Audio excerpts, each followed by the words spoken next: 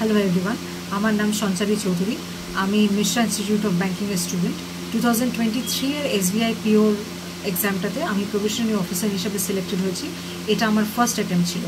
আমার banking exams নিয়ে সেরকম কোনো ধরনের কোনো আইডিয়া ছিল না। যখন টু থাউজেন্ড টোয়েন্টি থ্রিতে আমি ডিসাইড করি যে আমি ব্যাঙ্কিং এক্সামগুলোকেই সিরিয়াসলি ফোকাস করব, তখন আমি Mishra institute of banking join করি এবং আমার প্রত্যেক উইকে মানডে থার্সডে ব্যাচে থাকতো। আমি প্রথম থেকে প্রত্যেকটা এক্সাম যেগুলো হয়েছে আরআরবি আইবিপিএস এসবিআই প্রত্যেকটা এক্সাম দিয়েছি।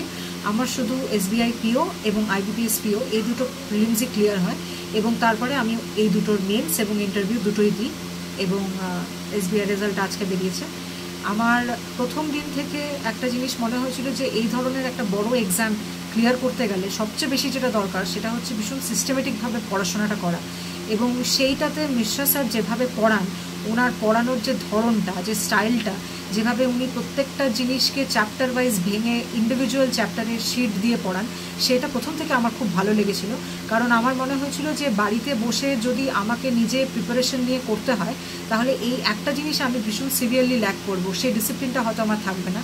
কিন্তু যেহেতু আমি মিশা স্যারের কাছে একদম ডেডিকেটেডভাবে দুদিন করে যেতাম এবং কোনো দিন অ্যাবসেন্ট চেষ্টা করতাম যাতে না করি প্রত্যেক দিন ফলো করার পর আমি একটা জিনিস বুঝতে পেরেছি, উনি যেভাবে একটা সিস্টেমে পড়ান, প্রত্যেকটা চ্যাপ্টার ওয়াইজ প্রত্যেকটা টাইপের অঙ্ক যেভাবে উনি কভার করান, যেভাবে উনি এক্সপ্লেন করেন, সেই ধরনের সিস্টেম্যাটিক স্টাডিটা এই ধরনের কম্পিটিটিভ এক্সামের জন্য খুব ইম্পর্টেন্ট আমার আরআরবি এবং আইবিপিএস ক্লার্ক এবং এসবিআই ক্লার্ক কয়েকটা অনেক নম্বরের জন্য হয়নি, কয়েকটা কয়েকটা নম্বরের জন্য হয়নি, কোথাও স্পিডের গণ্ডগোল ছিল, কোথাও অ্যাকুরেসিটা একটু ড্রপ করে গেছে।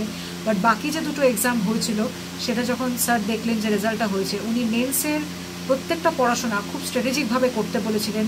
আমার মনে আছে যখন আইবিপিএস পিওর রেজাল্টটা বেরায় তখন খুব প্যানিকড একটা অবস্থা হয়েছিল যে ম্যাথস আর রিজনিংটা কী করব বা এসবিআইতে যখন হয়, তুমি তখন খুব ঠান্ডা মাথায় ব্যাপারটাকে বুঝিয়েছিলেন যে এই দুটো জিনিস নিয়ে স্ট্রেস না করে যেইগুলো আমার হাতের মধ্যে আছে, সেই জিনিসগুলোকে যেন খুব ভালো করে পড়ি কারেন্ট অ্যাফেয়ার্সে যেন খুব ভালো করে পড়ি, কোন মাসগুলোতে ফোকাস করব, কী ধরনের জিনিসগুলোকে পড়ব, উনি সব মেটেরিয়াল পাঠিয়ে দিতেন গ্রুপের মধ্যে। ইংলিশটা ভালো লাগতো আমার করতে, সেইটা আমি আরেকটু বেশি ফোকাস করেছি যাতে সেটা একটা স্ট্রেংথ হিসাবে হতে পারে।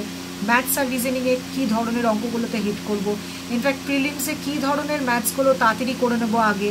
তারপরে বাকি অ্যারিথমেটিকগুলো ধরবো। পাজেলটা বেশি আগে ধরবো না। পাজেলটা বাদ দিয়ে সিলজিজম বা রিজনিংটার বাকি যে মিসলিনিয়াস পার্টগুলো থাকে সেগুলো আগে করব।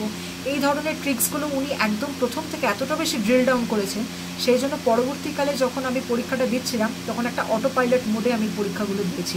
এবং এটার পুরো ক্রেডিটটা হচ্ছে, উনি একদম প্রথম দিন থেকে যেভাবে আমাদের মক টেস্ট নিতেন যেরকমভাবে প্রথমে ছোটো ছোটো চ্যাপ্টারের টেস্ট দিয়ে আমরা স্টার্ট করেছিলাম এবং পরবর্তীকালে প্রত্যেক সপ্তাহে পারলে একদিনে দুটো, তিনটে এক্সাম করে যখন ওনার কাছে দিতাম, সেটার একটা কনফিডেন্স বাড়তো। কী রকম আমার স্ট্র্যাটেজিটা হবে সেটা ক্লিয়ার হতো এবং প্রত্যেকটা এক্সামের এন্ডে যখন উনি বলতেন যে এই জিনিসগুলোকে আগে করা উচিত ছিল, এটাতে সময় নষ্ট হয়েছে, এটা না করলেই পারতে এই জিনিসগুলো প্রত্যেকবার শুনতে শুনতে যখন পরীক্ষাতে গিয়ে করেছি, যদিও এটা আমার ফার্স্ট অ্যাটেম্প ছিল, আমার মনে হচ্ছিল এটা আমার ফার্স্ট অ্যাটেম্প না, যেন অনেকটা এক্সপিরিয়েন্স রয়েছে এবং দ্য প্রত্যেকটা ক্রেডিটটা হচ্ছে এই মক টেস্টগুলো দেওয়ার জন্য এবং উনি এটা রিলিজিয়াসলি প্রত্যেক দিন ক্লাসে আমাদের নিতেন।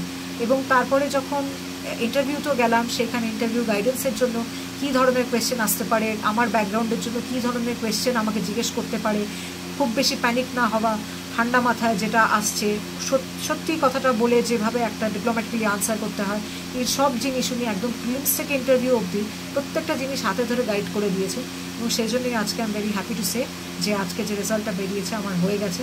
Very thankful to sir sir যদি না থাকতো তাহলে এই এত হিউজ এক্সামটাকে এইরকমভাবে স্মুথলি আমি হয়তো ক্লিয়ার করতে পারতাম না। Thank you sir